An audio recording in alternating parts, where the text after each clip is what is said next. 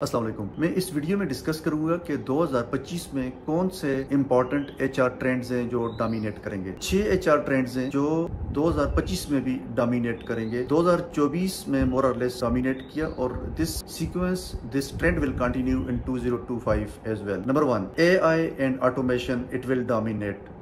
بہت سارے H R processes administrative task ان کو اے آئی بیسڈ سولوشنز میں کنورٹ کیا جائے گا۔ اسی طرح سے جو ریکروٹمنٹ پروسیس ہے، جو سوٹیبلٹی آف کینڈیڈیٹس ہے it will be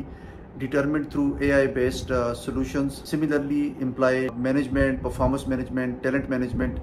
یہ بھی انشور کی جائے گی کہ اے آئی بیسڈ سولوشنز ہوں آٹومیٹڈ فلی جو سپورٹ کریں ان تمام امپورٹنٹ ایچ آر ٹرینڈس کو ایچ آر پریکٹسز کو۔ Number two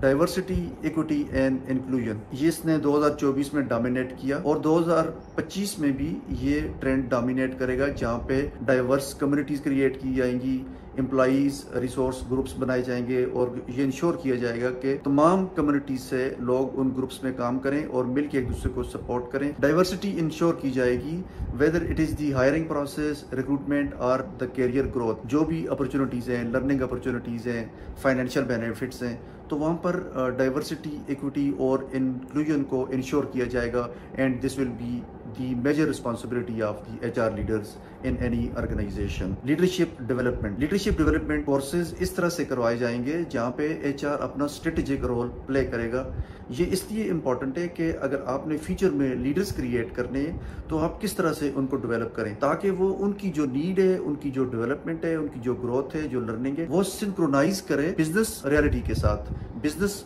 ریکوائرمنٹس کے ساتھ تاکہ اس کا بینیفٹ اوور آل بزنس کو آئے امپلائیز کو بھی آنا چاہیے کہ ان کی کیریئر گروتھ انشور ہو لیکن at the same time time business کو اس کا بینیفٹ آنا بہت ضروری ہے تاکہ پازیٹیو بزنس ریزلٹس آئیں in terms of growth in terms of revenue in terms of profits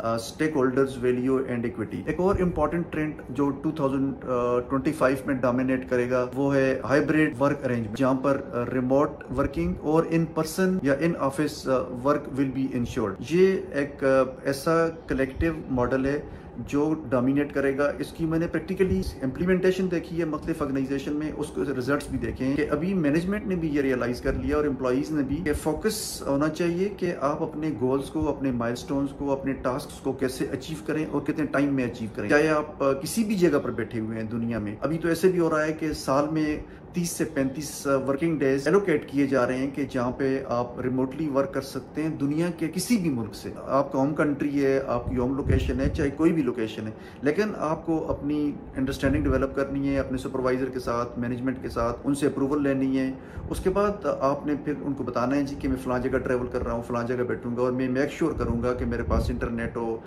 noise free environment ہونی چاہیے، میں اپنے کام کو فوکس ہو کے کمپلیٹ کروں اور جو ہماری ٹائم لائنز ہیں ان کو میں فالو کروں۔ تو اس طرح کی ارینجمنٹ ابھی already practically it is happening in the organisation اور میرا خیال ہے کہ this is a very strong message to the companies to the firms to the organisation in Pakistan in India in Bangladesh in other country employee wellness اور employee well being this is a very critical component and it will dominate in 2025 چاہے وہ physical wellness ہے mental wellness ہے یا financial wellness ہے، اس کو ensure کیا جائے گا through structured approach through structured processes and practices کے امپلائیز کی ویل بینگ ہونی چاہیے اور اس کو پرائرٹی دینی چاہیے۔ فائنینشیل سائڈ بھی دیکھی جائے گی، پھر اس کی جو مینٹل ویلنس ہے یا ویل بینگ ہے دس از ویری کریٹیکل اگر آپ مینٹلی اسٹرانگ ہیں پازیٹیو ہیں موٹیویٹیڈ ہیں، تو آپ فزیکلی بھی اسٹرانگ ہوں گے and you will be delivering the result so your inner thoughts your inner motivation is very critical to your job performance in physical form in terms of results in terms of achievement learning and development ایک بہت important component رہے گا۔ H R کا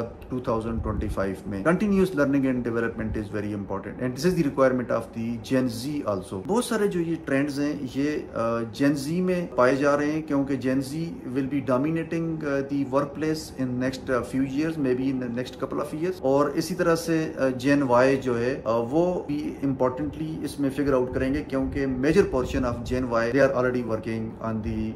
work place in different organization تو اس لیے جو continuous learning ہے اٹ ول ڈومینیٹ اور اس میں ریسکلنگ گے اپ گے ہے اور uh,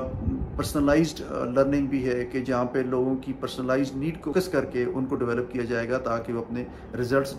ڈلیور کر سکیں ان کی گروتھ ہو سکے اور وہ آرگنائزیشن کی گروتھ میں بھی اپنا رول اچھی طریقے سے ادا کر سکیں۔ تو یہ چھ ٹرینڈز ہیں ایچ آر ٹرینڈز ہیں جو 2025 میں ڈومینیٹ کریں گے۔ میں ذرا سا اس پہ بریفیسلی بات کرنا چاہ رہا تھا کہ یہ ایچ آر لیڈرز کے لیے سینئر مینجمنٹ کے لیے بورڈز کے لیے بہت امپورٹنٹ ہے کہ وہ لوگوں کے بارے میں جانیں۔ جب 2025 شروع ہو جائے تو تاکہ آرگنائزیشن فلی پریپیئرڈ ہو اور وہ اچھی طریقے سے اپنی ریزلٹس کو پلان کر سکیں، اپنی بزنس پلانس کو اچھی طریقے سے اسٹرکچر کر سکیں اور انشور کریں کہ میکسیمم ریزلٹس اچیو کیے جائیں۔ آئی wish you all the best اگر آپ کو کوئی کوشچن پوچھنے ہیں تو آپ کمنٹس کر سکتے ہیں میری ویڈیوز میں and I will try to respond to every comment اپنا بہت بہت خیال کریں. اللہ حافظ.